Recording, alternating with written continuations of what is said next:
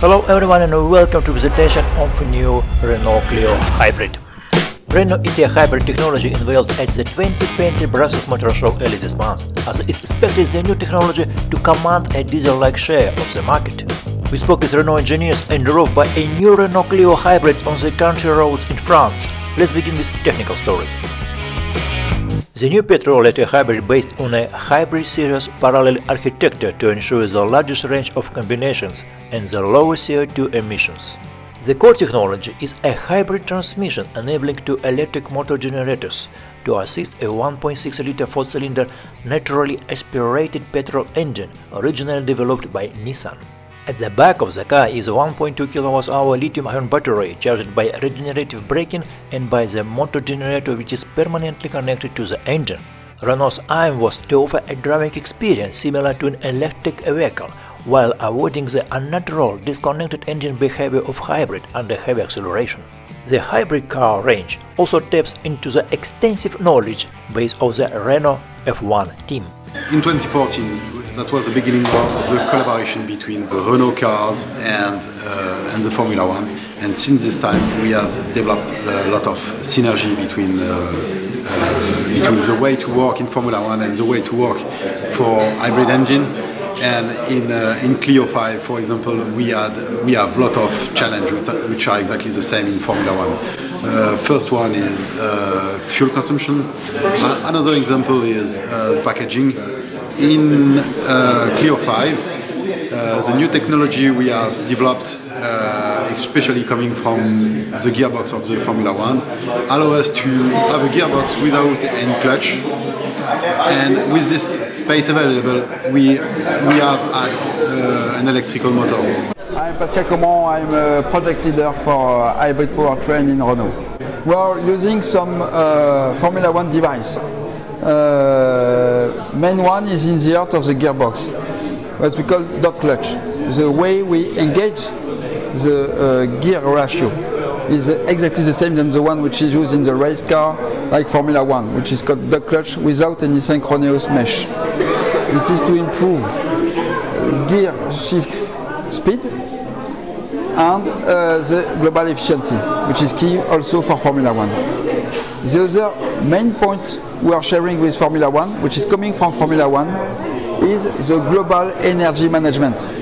Uh, like Formula One, we need to refill the battery as much as we can. For, for battery, for Formula One battery refill is uh, very important for best uh, performances available at the start, or when they leave the pits, uh, or after the turns. On our side, the battery management is very important for fuel efficiency.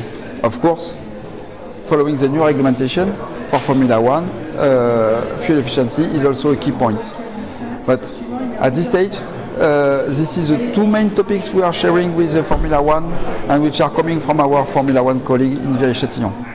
Dog clutch, energy management. This is uh, E-Tech gearbox uh, explanations. Uh, this is a dual gearbox inside the same housing. We have on one side EV gearbox with two gears, EV1, EV2. On the other side there is IC gearbox with four speed. One, two, three, four. And we can combine, combine all these gears all together to have or EV mode only, like this one.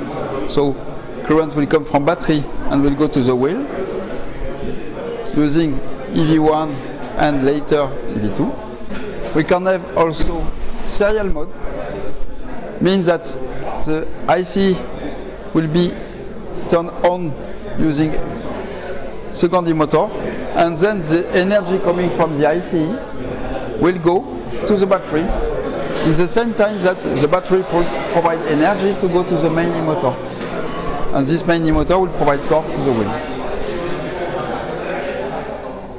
Finally, we have the most efficient way to drive this car, which is parallel mode. Battery is providing some current to the main e-motor, and ICE is providing some torque. And we can go to the second gear, third gear, or four gears, like we see on this animation. We will go on the second gear, then the third gear, and the third gear will be removed and the fourth gear will be engaged. Here it is. And this is highway mode. This is the best way for us to achieve a very good efficiency level. Of course, like other hybrid and EV cars, we can also use regenerative energy at braking level. So when you remove the feet out of the accelerator pedal or when you are pushing the braking pedal, e-motor will save some energy coming from inertia of the car and will put it back into the battery. After a while, the IC will be stopped. During this phase, before it's stopped, energy can be also recovered by HSG. In case of braking, the total recovery energy available is 50 kilowatts, which can go to the battery. This is all the way we can use this e-tech technology. In next video we're gonna drive new Clio hybrid. Thanks for watching, subscribe please to stay with us and see you soon. No, straight, straight.